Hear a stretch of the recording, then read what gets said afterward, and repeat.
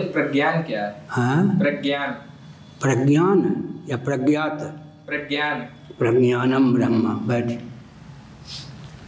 ज्ञान समझते? प्र लगा दिया तो क्या हो गया?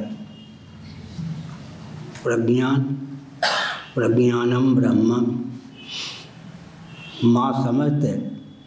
माँ सीधे अर्थ नहीं देता प्रमाण लगा दें तो। मान सीधे अर्थ नहीं देता प्रमाण अर्थ लग जाएगा। मेय सीधे अर्थ नहीं देता है प्रमेय प्रउपसर्ग लगाने से झटपट अर्थ की अभिव्यक्ति हो जाती है। इन्होंने क्या कहा? प्रमाण क्या? तो प्रज्ञान। प्रज्ञान माने प्रज्ञानम ब्रह्म स्वप्रकाश ज्ञान। हम्म, जो ज्ञान होता है उससे हम लोग परिचित हैं। पंचदशी कार ने विचार किया कि सुगमता पूर्वक आत्म तत्व का प्रतिपादन कैसे संभव है, जिससे सभी परिचित हैं, उसी से काम प्रारंभ हो। उन्होंने विचार किया कि ज्ञान से सभी परिचित हैं।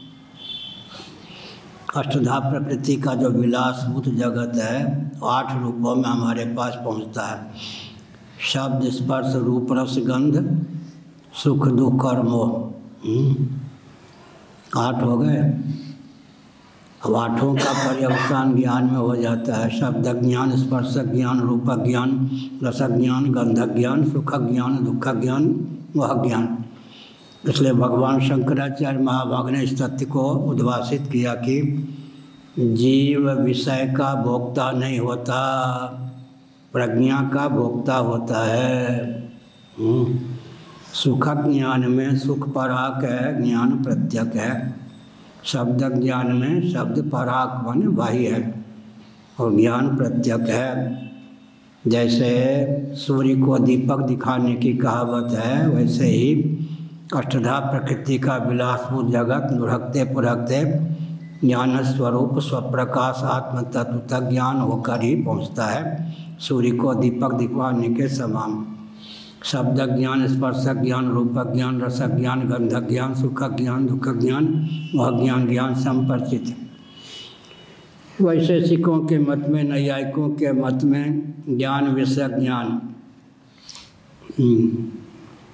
घट विषय ज्ञान वान अहम घट में हम जानामी का अनुव्यवसाय हो जाएगा। घट विषय ज्ञान वान अहम तो वहाँ अनुव्यवसाय को स्वप्रकाश मानेंगे। प्रथम ज्ञान ने क्या बिगाड़ा है? इसलिए ज्ञान स्वप्रकाश होता है।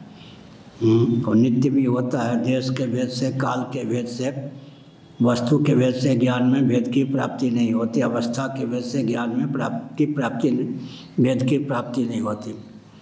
जागृत अवस्था में ज्ञान ही स्वप्नावस्था में ज्ञान है। वैशेषिकों के यहाँ सुसुप्ति में ज्ञान नहीं।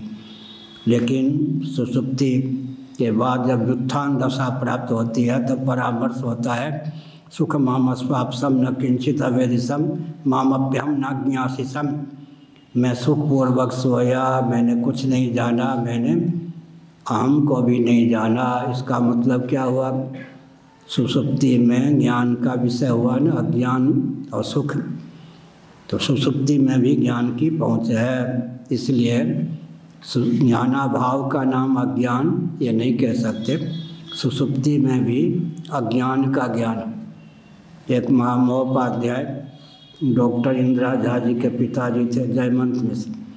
वो कहते थे, मैं इतने जानता हूँ कि अज्ञान है। अज्ञान का ज्ञान मुझे गया है। सब कुछ हो गया। तो क्या संकेत हमने किया? प्रज्ञान माने स्वप्रकाश ज्ञान। प्रज्ञान, उसकी ब्रह्म रूपता है। विभु ज्ञान का नाम ही ज्ञान स्वप्रकाश। क्या है? स्वप्रकाश है, नित्य है। जो स्वप्रकाश होता हुआ नित्य हो, नित्य होता हुआ स्वप्रकाश हो, आत्मा है। आत्मा होने के कारण पर प्रेमास्पद है। पर प्रेमास्पद होने के कारण परमानंद स्वरूप है। इसलिए पंचदशी नामक जो ग्रंथ है, उसका सारांश, पूरे वैदिक वाग्मय का सारांश क्या है?